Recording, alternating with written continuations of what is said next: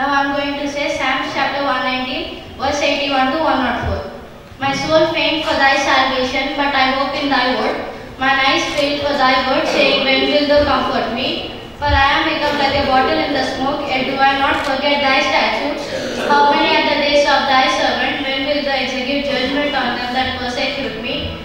The proud have deep for me, which are not after thy law. All thy commandments are faithful. They persecute me wrongfully. Help me. Eh? They had almost consumed me upon thy earth, but I forsook not thy precepts.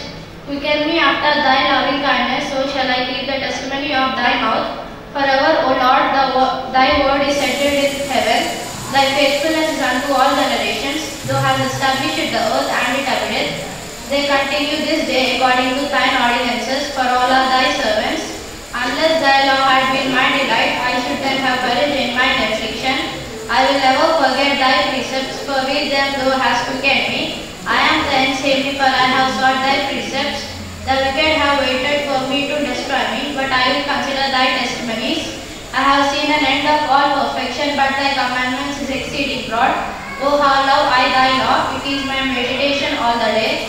Though through the commandments has made me wiser than mine enemies, for they are ever with me. I have more understanding than all my teachers, for thy testimonies are my meditation. I understand more than thy ancients, because, because I keep thy precepts. I have refrained my feet from every evil way, that I might keep thy word.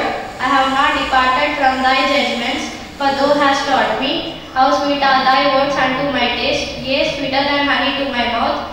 Through the precepts I get understanding, therefore I hate every false way. Praise the Lord.